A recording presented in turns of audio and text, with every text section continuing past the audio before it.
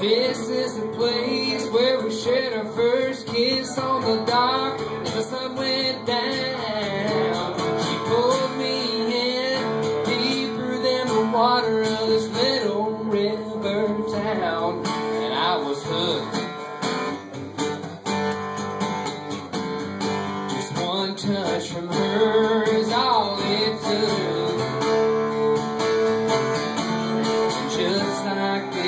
the river rolls on by summer's end.